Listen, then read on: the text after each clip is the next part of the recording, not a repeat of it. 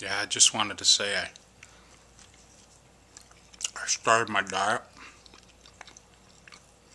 And uh, as long as everything goes to plan,